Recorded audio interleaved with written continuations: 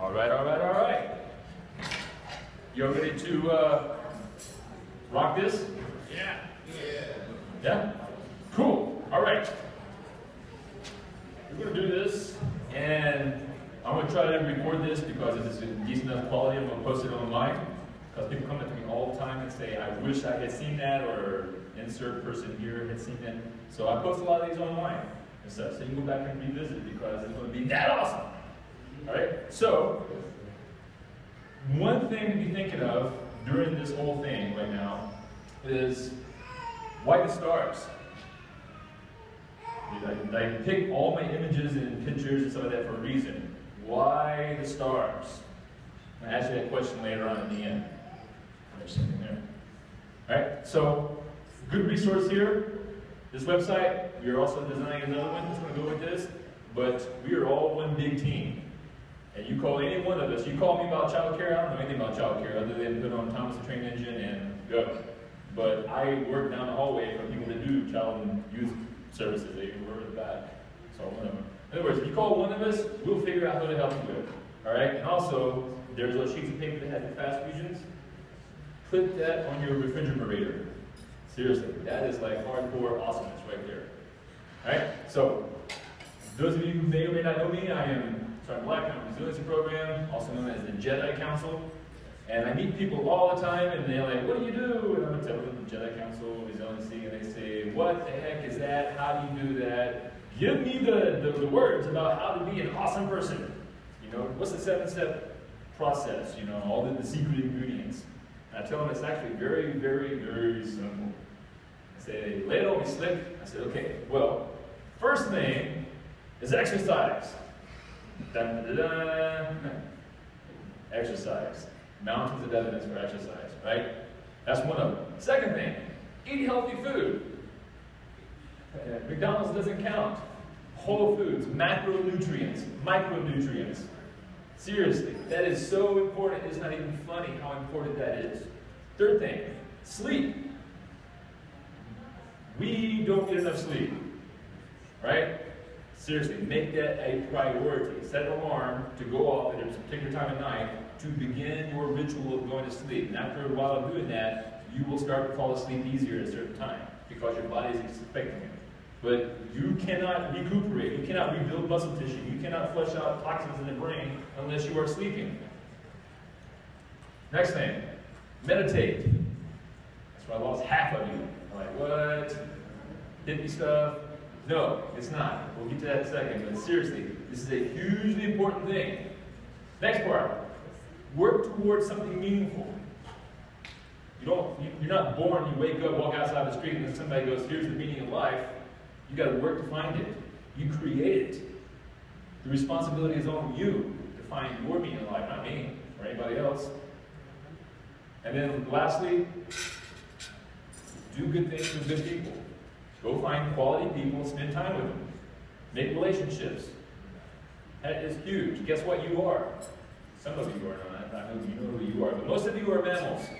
And mammals crave emotional connection. One of the worst things that we can do to somebody is separate them from the unit. Go drill someplace else. Get outside my room. You're solitary confinement. It's one of the worst things you can do to somebody. So, a common theme to all this is that the body is stupid. This right here is really stupid. You can trick the body. You can really trick the body by the way you think, or by, by the way you behave will influence the way you think. Or what you're eating will influence the way you're thinking. Or your behavior will influence how you're feeling. Feeling sluggish, go walk around the block. The point here is that if you influence any one of these three, you will influence the other two. Some of our influences are negative. Some of our influences are positive. So, I'll show you a video coming up next. If you've seen this video, please keep quiet, don't say anything, remain absolutely still, and let everyone else who has not seen this video have fun. Okay? Count how many times the players wearing white pass the ball.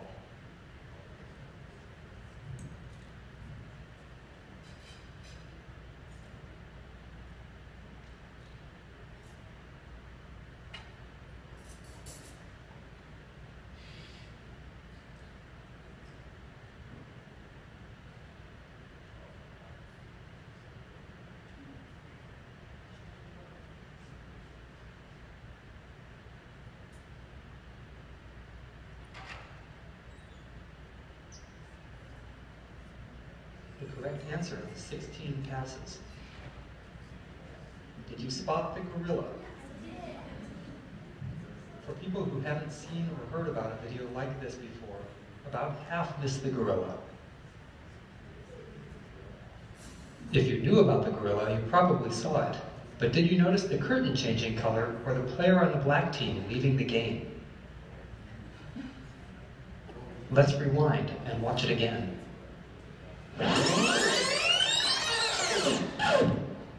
Here comes the gorilla, and there goes a player, and the curtain is changing from red to gold.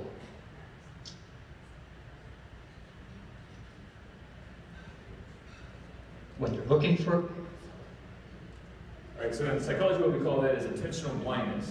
And guess what? We are primed, our brains are geared for looking for the negative. Can't help it. 500 billion, trillion years of evolution, right? We're like, where's the snake? Where's the saber-toothed tiger? You don't look out for that. If you miss that saber-toothed tiger and you're dead, guess what? Your genes don't get passed on to the next generation. But if you forget about what the apple pie is, not a big deal, right? So we are geared to spot the negative. We're constantly looking for the negative, right? And the problem with the negative is that maybe you got something good, like ice cream. Mmm, ice cream, that's good stuff. And then until there's one little thing that happens, and this ice cream, bowl of ice cream is ruined. The whole thing, right? For some of us, no. But the general thing, when you start looking, maybe take out the ice cream, look at other stuff. What you typically see is that a jar of ice cream is ruined by one rat turd, but one rat turd is not made better by a jar of ice cream. True story. Try it. Go try it. Go try a rat turd. See, report back. Okay, how it goes, right? But the point is that we sometimes, with our thinking traps, we are looking for that negative thing. We're constantly looking for it, and we're not even aware of it. And that changes how we see the world around us. So one of the things that we teach in our resiliency skills is Kenny, I need 50 pounds of roast beef. Sorry, Pat. We're all out. No, don't give me that. What, did your wife wolf it down for breakfast?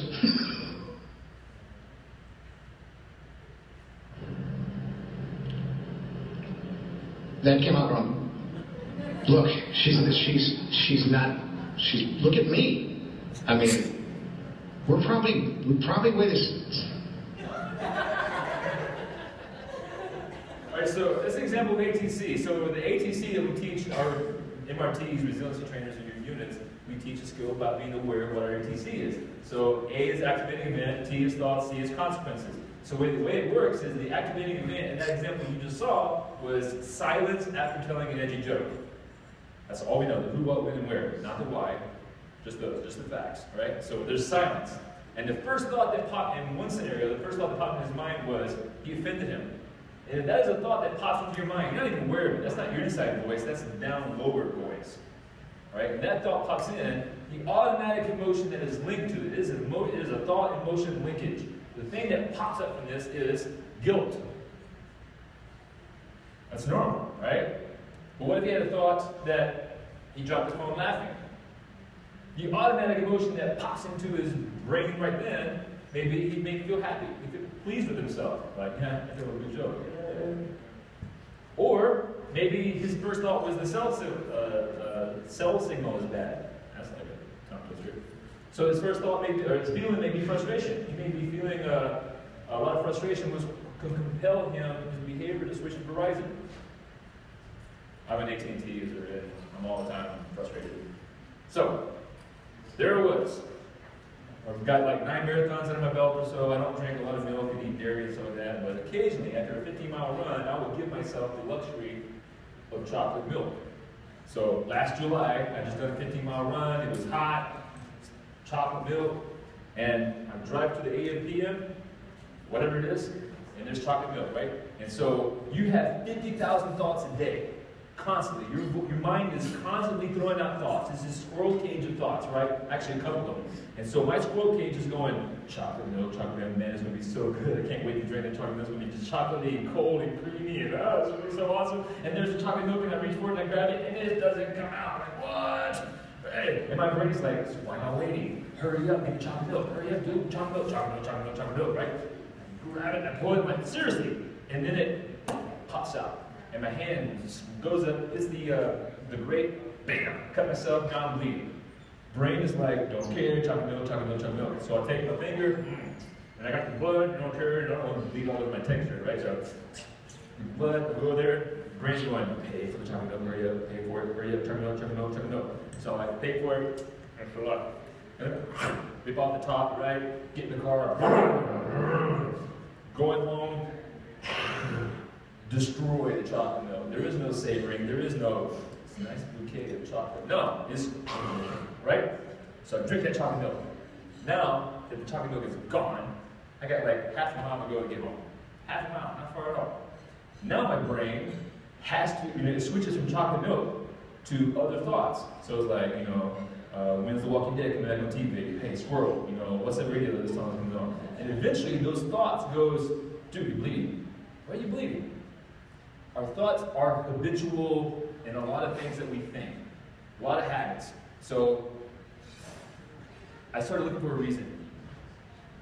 I'm, I'm an NCO. One of the NCO's primary jobs is to do on-the-spot corrections. So I'm like, my brain is like, you're bleeding. Why are you bleeding? Well, because some jackwagon stopped the chocolate milk to, whatchamacallit, he stopped it wrong, caused me to pull my hand out. Wait, so he doesn't know how to stop milk. Jackwagon. I am compelled to go tell this guy how to stop milk. In fact, I start getting angry because this guy does it. He's probably laughing. You know, at, he probably watched me in the mirror. He's probably laughing at me. I'm gonna go punch this guy in the face. What I realized, and I'm a quarter mile from home now, is that my anger level had gone up. I was actually seriously considering turning around and go set that guy straight, right? Bringing out the old knife hand. You will, right? So I realized that. And then have you ever been angry with yourself? Or, or angry at a bar and one of your friends comes up to you, you know, you got the, the, the, the angels on your shoulder, so you got, you know, the, the devil and the angel, right? So, have you ever listened when you're angry to the angel? No, you haven't. Not even if it's you. It could be the smartest person you know comes up to you and says, here's some counter evidence. You're like, I. Get out of my face. I'm about to go teach this fool, right? Even if it's your own voice. You don't want to hear it. You just want some righteous justice. So, one of the things that we teach with our resiliency skills is mental games. Mental games, the function of a mental game is to take you out of your mental mode now and put you someplace else. Fire. If you've got a fire that's going on and there's gas that's feeding into it, what's one way of getting rid of that fire? Take out the fuel. The thing that is fueling my fire are the thoughts. Stop it. Right? So, one of the things that we do in mental games is we do something that is, requires focus. It's got to take our full attention. It's got to be short because I ain't got all day. I'm about ready to turn around and go beat this guy up. So I, I don't have 10 hours to spend on this. This is going to be now. And it's also got to be fun. Because if it's not fun, I'm not going to do it. Right? Who wants to do calculus? Two of you know who you are. There's a Lieutenant Con in the back. She can help you with some counseling.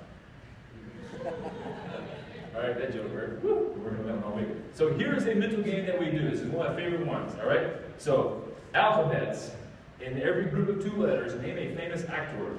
For example, AB may be Annette Bening right? Or CD may be Cameron Diaz. EF is like Packer, Errol Flynn. All right? And here's this one. IJ. Whoops, I'm off. GH, Gregory Hines. IJ. So now I got less than 100 meters. I'm driving through my apartment complex. I got less than 100 meters to park my car. And I'm still thinking about turning around. But right now, I'm getting to IJ. And I've done this presentation, this part right here, dozens of times. And I've always asked the question, and I want to ask it to you right now. Give me an actor that starts with initials IJ. Come on. Who? What? I can't. Is this military group? I mean, I know a military group talk about voice of command and such, right? Okay, there's one. We were up. But that is a character, not an actor. I always get Indiana Jones, but it's not an actor, it's a character. So I am struggling right now. I'm not even breathing. You were watching yourself just now. Some of you did stop breathing. You like that while you were thinking. And in less than 50 meters, as I'm pulling to my spot, I'm going, I, uh, in in India, Indigo, Montoya, that's how I am. Uh, I'm just racking my brain for an actor that starts with IJ, and I can't. And as I pull in my spot, and I park the car, I go back to the voices, the angels on my shoulder. Why would that guy talking about that way? Because he's the only guy at work, and he's overworked right now. He doesn't have time to keep going back there to Stockton Milk. He wasn't the guy at Stockton Milk, the milk delivery guy did. The guy the time before Stockton Milk, a million other reasons I came up with, all of which were good enough for me not to beat this guy up, because I was no longer angry. Make sense? So, another tool that we teach, it's called Hunt the Good Stuff. This is huge. This looks simple. Do not be deceived by how simple this looks. All right? It's like that guy from Sling Blade. He's pretty simple. Mm-hmm. He's got a sling. Nobody? Seriously? All right. That joke is dead. So, hunt the good stuff. This thing is incredibly powerful. This is as effective as happy pills. Go to the VA, go to a counselor, get a prescription for it, insert anti-depression drug here. This is as effective. Yes. Former president of the American Psychological Association, Martin Seligman, makes that claim, not me. So funny you think, right? What is this magical thing of which we speak? Well, I will tell you. You name three things, you write it down. That was good. For example, I had a good coffee this morning. Not that Wolfgang Puck stuff in the, in the hotel room. Mm-hmm. I brought my own coffee. I ground that stuff. Yeah. I'm thankful for that coffee. Right? That's it. Name three things that you're thankful for and what you did to get it, or contribute to it, or why it was good. Just something, a little blurb about that thing. That's it. That's it. And if you do that for 20 days, 22 days, it will change your brain. You will now start looking for the invisible gorillas. Because we call it hunt the good stuff, because it is not our normal go-to state to look for the awesome stuff. It is our normal go-to state to look for the snake. And so when you train yourself that when you first do this, you're just going to be hard. First time I did it, it took me five minutes to come up with three things. And now I can rattle off 20 of them without even blinking an eye. When you do this, it rewires the way you see the world. This does not take away the saber-tooth tigers and snakes and dangers. You are still well aware of the dangers around you. But you're also aware, well aware of all the great stuff around you too. It opens up a universe of awesomeness. Which life do you want to live in? Depressed life or awesome life? Filled with bacon on never-ending platters with coffee as far as the eye can see. Right? It's out there. Live your dream. So, what if you are living your day and something big, lousy event happens? All right? Big, lousy event. Something traumatic. For example, like iPhone batteries dead. No Wi-Fi. All right? I mean, sometimes this is a traumatic event, man. I ain't lying. This is a big deal, you know? Sometimes not. All right? Anyway, something negative happens. And, you know, you just start freaking out. I mean, like, was that SpongeBob? Yes, that was SpongeBob. All right? What about that? Or, what about if you're in the weeds? Anybody former uh, restaurant workers in here? All right? You know what in the weeds means, right? That is like, in the weeds is when things become stressful. It's not one event by itself, it's the fact that this person here is asking you to get tea refills every 30 seconds, right? And this person here's food is not cooked correctly. And this person over here is whatever. You know, all these different stresses add up. And as all these stresses add up, you get tunnel vision. And you get tunnel vision, you start to focus on one little thing. One thing. You don't see the bigger world around you. So either of these two things, how can we counteract that? What can we do? Well, here's a tool right here. Those of you, there's some medics in the room, right? I was talking to some of y'all last night. You crazy people. Medics are crazy. Ain't no lie. Here's one of the things you can do. Oh, that's loud. So exhale your breath on this part. You're still exhaling. A constant exhale. Now this is an inhale. Constant inhale. Now a constant exhale. This is beginning level on this app, Pranayama, free. I do the super hard advanced level, that's crazy hard. But this right here will activate the vagus nerve. Go Google it. Uh, vagus nerve. But basically, y'all have heard of the fight or flight response? The fight or flight response is one part, and then there's the um, uh, friend and befriend, or what is it? I don't know. It's got some super crazy acronym. Basically, it's the opposite of fight or flight: the chill and relax and make friends with people response. Right? You can't have both those responses at the same time. And remember, the body is stupid. So if you do behavior or thoughts, you will influence the body. If you influence the body, you will influence behaviors and thoughts. So right now, if you're like getting weeded out uh, and, and stressed out and such, you do this behavior, this will influence the body. As the body calms down because you are not doing the fight or flight response, it will calm your mind down. I've had bartenders that work for me that just get in the weeds, and you've seen those bartenders. They're like, ah! And I'll pull to the side, and I'll say, look at me, count to 20, deep, deep breath. And they're like, I gotta that. You were never so busy ever that unless you're like in the middle of a firefight. And even then, I've seen soldiers do it. Take 20 deep breaths. One guy in a firefight in Iraq is he could not, his machine gun went down. He could not bring that sucker back up. He was frustrated. He got tunnel vision. There was some stress, right? A lot of stress. What does he do? Takes out cigarettes, leans back in the gunner turret, smokes a cigarette.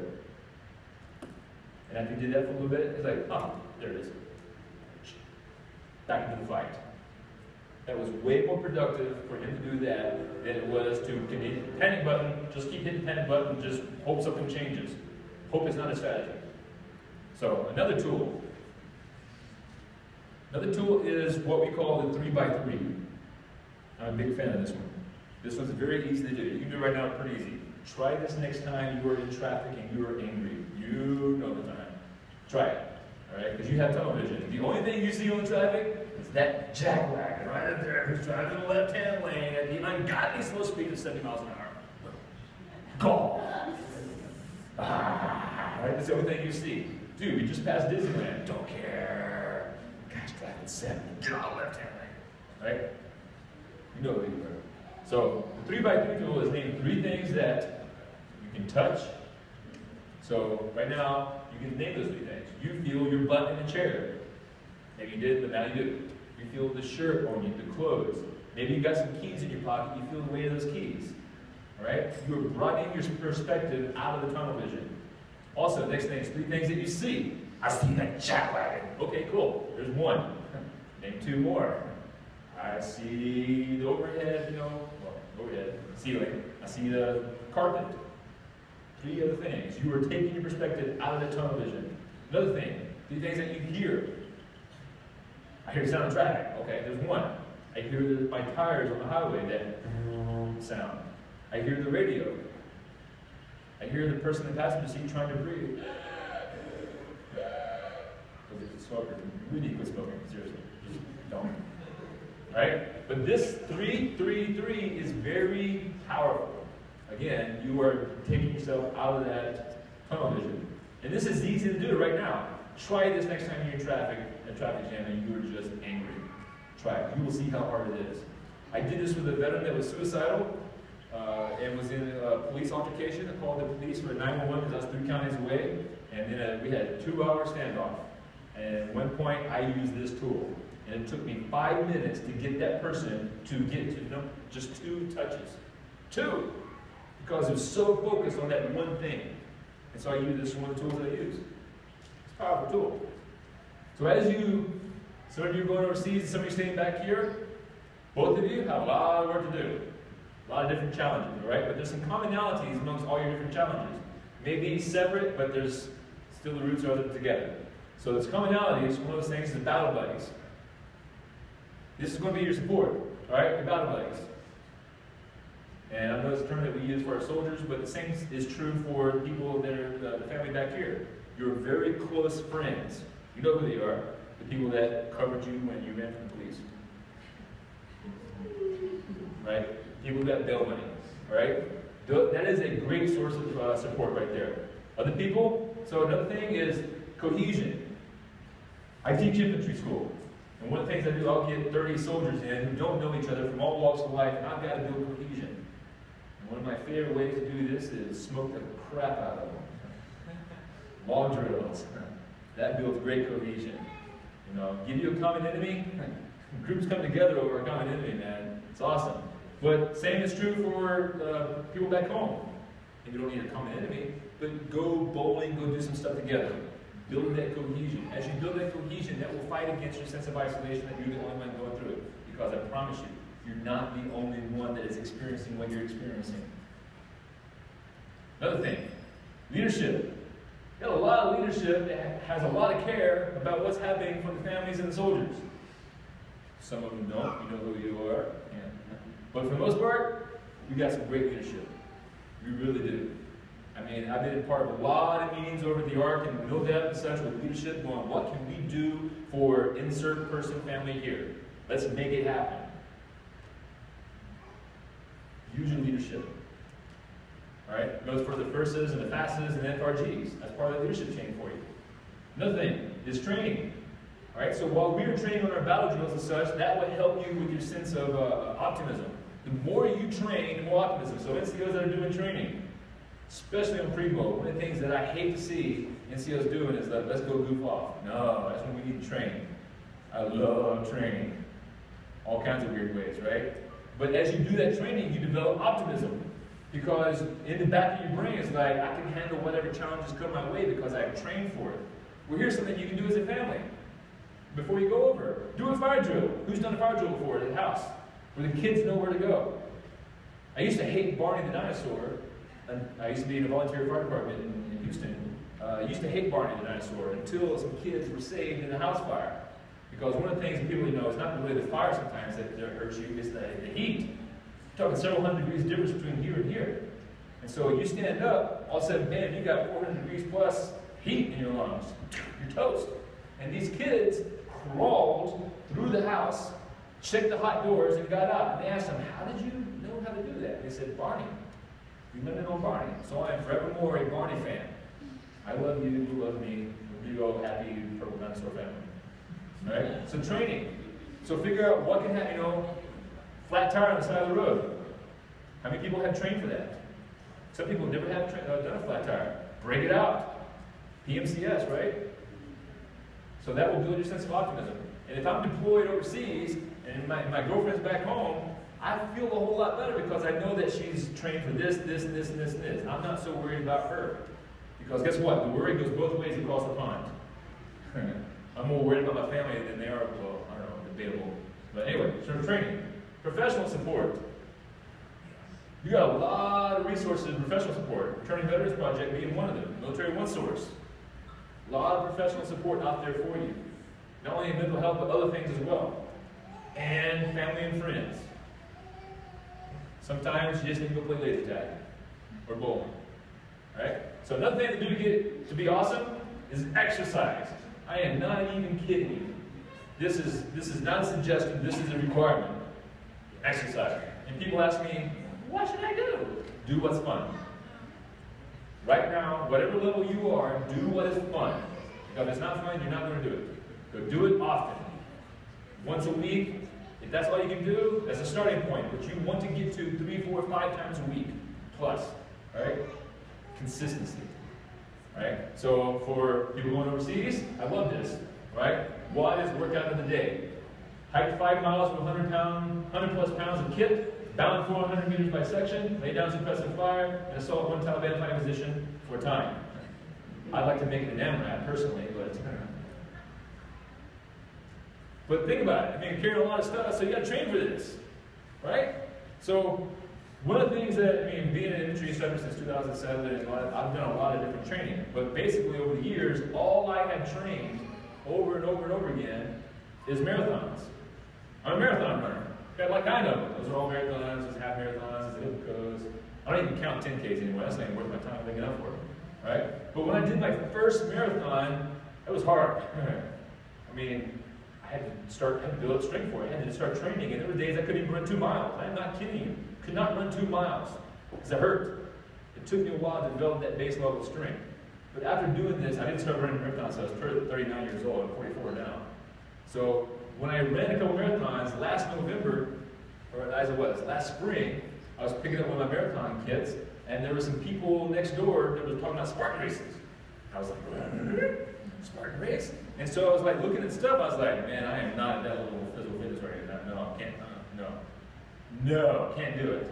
I mean, put 100 pounds on me, I'll cycle you to the ground, but that's all I got. Is rucking and running, that's it. You know, I can't climb up a mountain and do all this weird stuff. So, November, I joined the CrossFit gym. And I recently did the Spartan Pack West. We did all these kind of cool exercises. I did a 10 foot wall it was nothing. I was like, what? All kinds of stuff.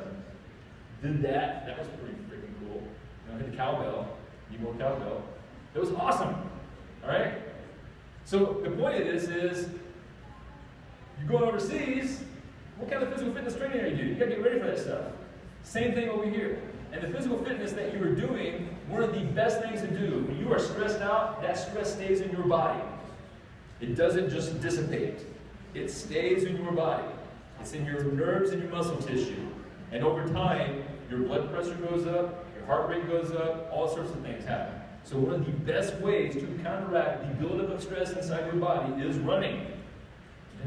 But the problem with running is that if that's all you do, you become super one-dimensional. So I started doing CrossFit, I couldn't do a pull-up. 25 years ago in the Marine Corps, I could do pull-ups, but now I'm, you know, I'm an old guy now. I'm 40 something, 44 years old. I couldn't do a pull-up, right? I couldn't do an overhead squat. I mean, do squats. People used to, they would laugh at me. I'm like, man, your squats are lousy. But that, I'm a runner. Runners are notorious for having really poor flexibility because all we do is train running, one dimension. And working CrossFit since that has helped me greatly. Man, I'm not, this is not a paid spokesperson for CrossFit, I'm just saying.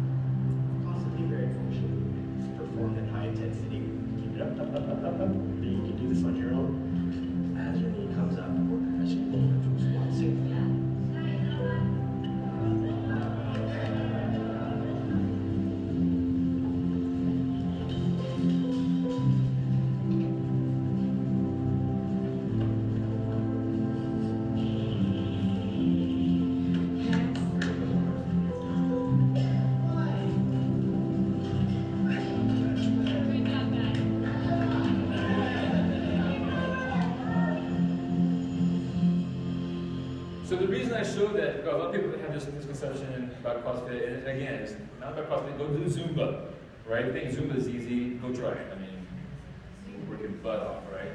Whatever. But what you saw in that was a level progression, right? So what you what you do is you start getting better at things, you start learning, you know, how proper technique and form, and you're also working out with other people. And working out with other people fights against this isolation. So what I'm saying, working out is awesome, but it's even more awesome if you work out with other people. You're getting like two birds with one stone right there. It's amazing. Go do good stuff with good people. And also what you're teaching yourself is that what you do matters, and that you can do stuff. And that builds your optimism and sense of efficacy and autonomy, which is awesome. All this stuff is an overlapping tapestry of, of stuff. It's not just one pill you take to make your life awesome. It's all this stuff. And you look for ways to combine these as much synergy as possible. Also, eating. Do not go on a diet. That's the craziest thing in the world. Diets are stupid. Do not do anything to lose weight. Not your priority. Don't even think about it. Instead, focus on what to eat to become healthy. What micro and macronutrients do you need? Make health your priority, not losing weight. Right? So I want to show you another video. This video is awesome.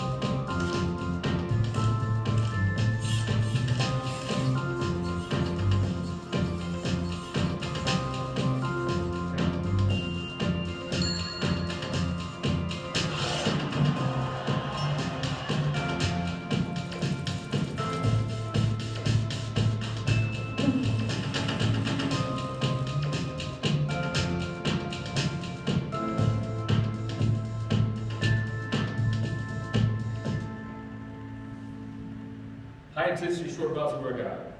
I mean, one of, the, one of the things that I run my soldiers through, I, I call this the soldier WOD. 15 minutes, all you need. And some of them like, dude, this is my favorite thing, and I do this with my wife.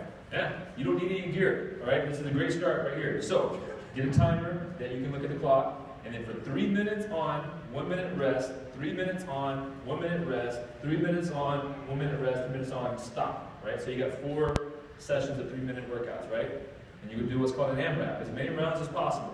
So you start off with air squats. So you do 20 air squats, all right? So proper air squat, you do 20 of those, and then you jump into a hand release push-ups. So a hand release push-up, I can't see it, but you do a push-up, chest all the way to the ground, and then lift the fingers off the ground. That's one. And push yourself up. All right? That because nobody in the army, seriously, nobody does proper push-ups. I've seen your APFTs. Y'all don't want me judging you. Because there's a captain and a warrant officer in Miladep who will never ask me to grade them again because it's like two, two, two. this doesn't count. No. All the way down, right? So you do 20 push-ups, and then you do uh, 20 sit-ups. And so that is when you sit, you, you don't need anything but your, your feet under. Just sit, throw your hands back, and then sit like this. Do 20 of those. So we do 20, 20, 20, restart at the beginning, and keep going all the way through. And then when it hits that three minutes, rest for 60 seconds. And wherever you left off, start on the next one. Make sense? And so at the end of four rounds of three minutes, when you do that, you may have like say five, six, seven rounds and you know 22 reps or something like that. But that's quick, fast, your heart rate going up, and before you know it, that'll actually help you with your APFT because you're working on all the things that you're going to be using during APFT. Right? You don't have to spend three hours at the gym. Next thing that people often overlook is sleep. Again, I am not even kidding. This is huge. All right? People say I'll sleep when I'm, when I'm dead. You know, there's time enough to sleep in the grave or suck it up and drive on. And sometimes you got to push forward, right? But if you've gone without sleep for a while, you know how groggy you get. Try it. I, I mean, I practice my own medicine. I monitored my sleep for a week, and I made it a point of getting eight hours sleep a night, and it was amazing. After a week, the night and day difference of what I was able to think and do just from getting regular sleep. One day of awesome sleep is not going to do it. It's got to be regular. You are not what you do some of the time. You are not what you eat some of the time. You are what you do or eat most of the time. So every once in a while, I'll have ice cream. But most of the time, I'm eating bacon. And bacon is healthy. True story. All right? But these three things, it is, paleo diet. Go look it up. So these three things are so important that the Army Medical Command is like, we have got to emphasize this on our soldiers. It's called the Performance Triad. They are making a concerted effort to push the importance of nutrition, sleep, and exercise. Because guess where our soldiers are worst at? Y'all heard the global assessment test? I get the results every quarter. Guess what we are worst at? Our lowest three areas. Sleep, exercise, and nutrition. When I ask soldiers what they're eating, they're eating Carl's Jr. They're, they're, eating, they're drinking so many Red Bulls that their veins are coming out of their eyeballs. Right? They're smoking, they're dipping all the time. They don't get much sleep. Then they drink, drink alcohol and they eat crappy food. You're killing yourself. Got to be healthy. So, another thing, the goals, the meaning in life. Right? Here's some research. I'm a nerd, can't help it. Right? If you want this, if you want the article, I can send it to you so. But guess what? So, social exclusion. Y'all know what social exclusion is, right? That's what happens when I tell you guys that I play Dungeons and Dragons. Now I'm no longer invited to your parties. That joke died. All right? Roll a 20 for charisma. so, social exclusion. When social exclusion goes up, mean, perceived meaning in life. So I give this person a questionnaire to rate their meaning in life. Meaning in life goes down. So, funny thing, you don't, you know, you, can help fight this by making a, a purposeful effort to include other people. I'm all the time making my soldiers do burpees. Why? Because I saw one, another one of my soldiers eating alone. And I told you guys, do not let anybody eat alone. I don't care. This is not a suggestion. This isn't, you will do this. So 50 burpees because he ate alone. Right? And guess who's now no longer eating alone? This guy. But that does have an effect because whatever reason this is, that has an impact on the meaning of life, its perceived meaning of life, right? Another one, positive mood. Y'all know what positive mood is, right? Positive mood goes up. Guess what happens to meaning of life? Goes up. But guess what? It's bidirectional. So one of them influences the other one. And so if you're meeting in life, if you really work on that, it'll influence your positive mood, vice versa. Guess what influences positive mood? Sleep, nutrition, exercise, endorphins, man, it's awesome. Endorphins, it's not just for breakfast. Those things influence positive mood. And now, because you've been eating healthy, getting regular sleep, and exercising, you have this crazy feeling that there's more meaning to life. And you didn't change anything about what you believe. Tricky, huh? How about this one? Coherence. Coherence is a very unique word. So coherence is basically predictability. A lot of people, they talk about how they're creative, they don't like things too structured and such, but that may be some personal preference, but deeper below that, you create predictability. You cannot handle unpredictability.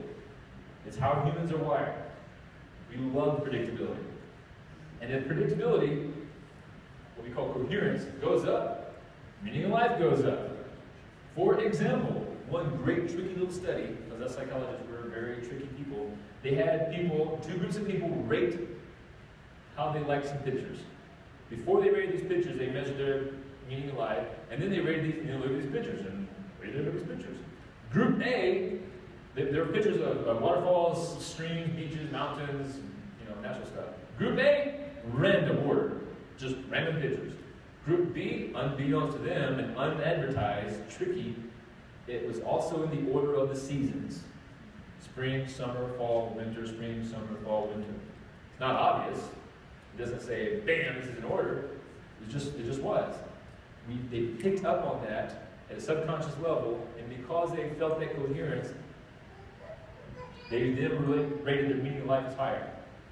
So coherence on deployment, it, a lot of people think it goes out the window. We got a lot of coherence on deployment. I mean, we have some chaos, but we got a lot of coherence. When to eat chow, where to show up to eat chow, uniform, the whole kind of yard. There's a predictability, right? When you come back home, that predictability is gone. know, there is no chow schedule. It's when are you hungry? And there's a bunch of stuff. So one of the things that you can do is make a schedule. When to eat, where to go. Every Monday night is Monday night, night meatloaf. Every Tuesday is Tuesday tacos. All right, Wednesday night wings. That's one little thing from coherence. Goal setting. Showing earlier about working out, all this good stuff. This helps you build a sense of mastery. One of these other things that will help this is goal setting. Because we create meaning. You've got to work and build that meaning yourself. I can give it to you. So goal setting, I'm, I'm not going to use any of the acronyms, you know, I, I'm anti-acronym. That's AA, A squared. And, but anyway, when you figure out a goal, what does done look like? Vision statement, right? What does it actually look like and taste like and see and feel like? Describe that stuff, right? And then, how are you to measure it? All right, want to be a good person. Well, what does a good person look like and how do you measure a good person? I mean, hours I volunteered at the shelter or whatever. Whatever a good person is for me. And then, what's the next step? Actually, what is the next concrete item that you can tell your kid to go do this? You can figure it out. You got to break it down Barney style. All right?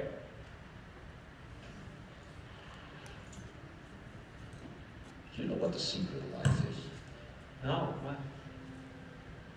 This. Your finger? One thing. Just one thing. You stick to that and everything else don't mean shit. That's great, but what's the one thing?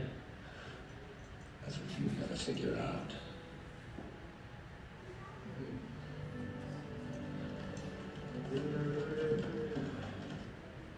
some people, they become proctologists. All right, all right, then Joe gets somebody look, wait a minute. All right, just keep you up quick here.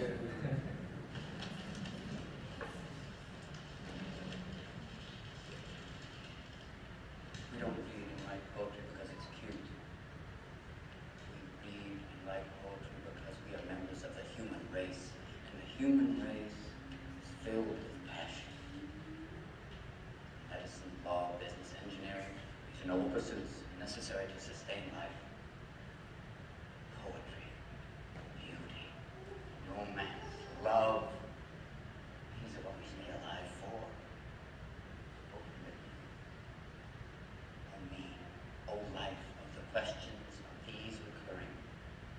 endless trains of the faithless, of cities filled with the foolish. What good amid these, O me, O life? Answer, that you are here. Life exists in identity. The powerful play goes on in you, the universe. Powerful play goes on in you, a contributing verse.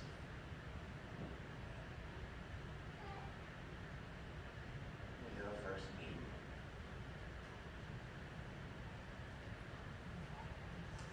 In 1994, when I, or 95, when I first started college after the Marine Corps, I used to belong to uh, an organization on campus, uh, leadership organization, and uh, one of our sayings was, be your best self. I had that on my mirror and, and on our training binders, be your best self. What does that mean? I can't tell you what your best self is. You know what your best self is. When you figure that out, whatever it is, I promise you, is connected to action. Aristotle talks about virtue and how human beings are designed, we are for work. And we, we not work like pushing brooms unless there's something virtuous in that pushing the broom, which there can be.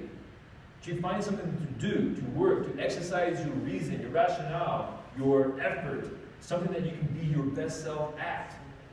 That's amazing. It'll get you out of bed in the morning. True story. So, mindfulness. This is when after you're like hippie, crystals, patchouli oil. No, patchouli oil. Maybe, I don't know. Anyway, mindfulness, right? So suppose you're Batman. I mean, always be Batman, right? Or Bat Dad. I love Bat Dad.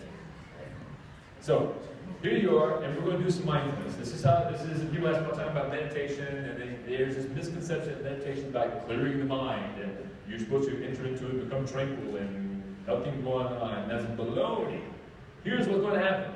So, when you do this, you'll sit down, here's one form of meditation, when you sit and you notice something, and you focus on that. For example, your breath. And so, it is just like this. I'm breathing, I'm breathing, I'm breathing in and breathing out. And as you're focusing on your breath, a thought pops into your head. Cheeseburger. And you're no longer thinking about breathing. Because you're thinking about cheeseburger and bacon and, mmm, and barbecue sauce and that cheese.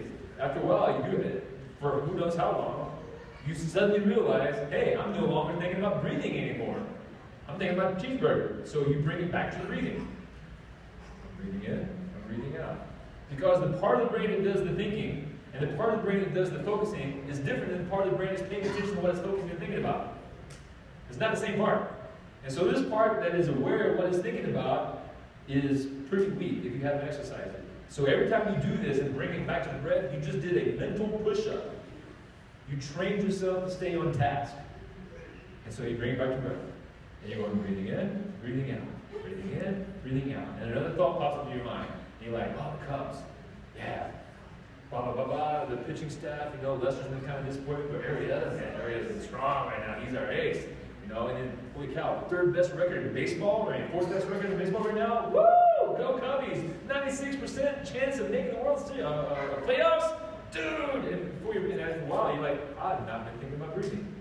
So you bring it back to your breathing. You just did a mental push-up and made that part of your brain stronger you bring it back to your breathing.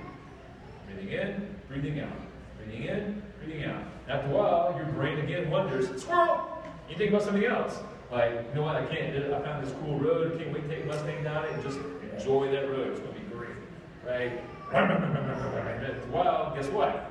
You realize you haven't been thinking about breathing. So you bring it back to the breath. Breathing in, breathing out. And if you do this every day, this is just like a diet. This is just like exercise. This is just like sleep. You don't get the benefits because you do it every once in a while. You get the benefits because you do it consistently. That is key. Key. You're not going to eat a salad and lose weight. Although, how many people eat a healthy salad and they go straight to the weight scale? You know, you, you know you've done it, right? So, same thing with meditation. You've got to do it all the time. And then if you do it all the time, what you realize is that you develop an ability of when thoughts pop in mind, you're still focused on your breathing.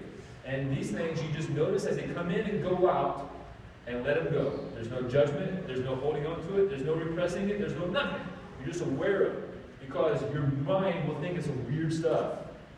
I promise you, your mind will think of weirdness, but you won't let it go.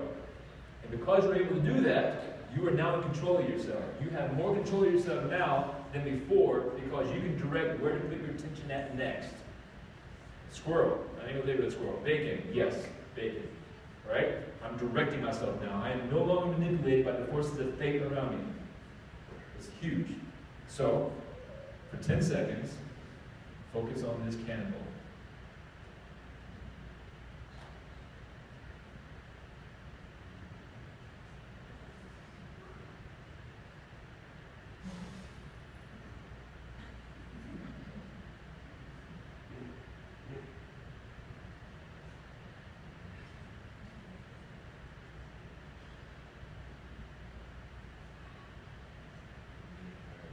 And I intentionally went over 10 seconds.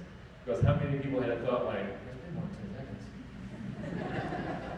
See, your brain, it's, it's called monkey mind. You can't help it. There's no such thing as not having thoughts. Monkey mind is there. Do not feel bad because you have monkey mind. Zen masters have monkey mind. But they're not ruled by the monkey. Right?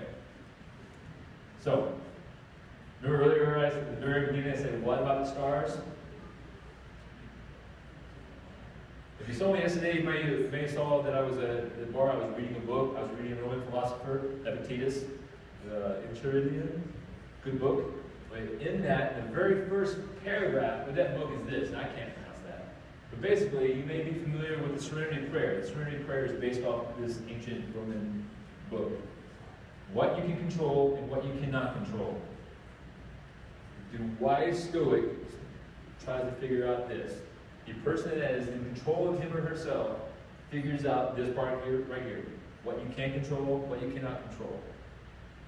You're not really in control of your bodies. You think you are. You have influence over it, but that's not the same as control. Because your bodies get sick, or weak, or old. So that is not truly within your control. Right? But you can influence it by the way you think.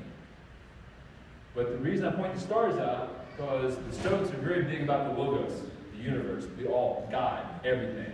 Right? And as you start looking at the universe, how feeble of it is it for you right now, with all your emotional want, to make that star right there move? You don't. You can't. Because you know it's going to do what it's going to do. You don't have control over that. Same mentality when it comes to other things that happen to you in your life. Realize that there are many forces out there that are working on it, and the only thing that you can control is your own self. We control our emotions, our judgment, creativity, our attitude, our decision, determination, desires, perspective. That you have control over. And if you have influence on that, you can react to something with better purpose. Alright, so to sum up, these are six things become awesome. This will build a sense of strength. Resiliency is not a quality like the color yellow. It's not something that you come into somebody and say, bam, resilient. It is a complex interaction of many different things all working together. That's resilience. There's no one thing that's going to make you resilient. It's all this stuff, plus more. Work out, meditate, eat healthy, find some meaning, work towards a goal, do good things with good people, and get plenty of sleep. This will build you a, a basic sense of strength and health. And from that stronger position, you will rebound, bounce back from anything that is thrown your way. So here's my phone number, here's my email. I'm gonna post this video on this website here later on. I don't know, have to watch that all day. Alright, this is good stuff. Alright, so thank you very much.